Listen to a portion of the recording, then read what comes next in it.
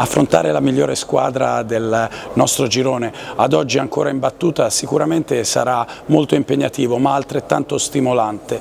Il Barcellona ad oggi è riuscito a produrre una qualità e un'intensità di gioco incredibili e noi dovremo assolutamente essere in grado di replicarlo per l'intera durata della gara, senza flessioni e riuscendo a distribuire responsabilità su tutta la squadra.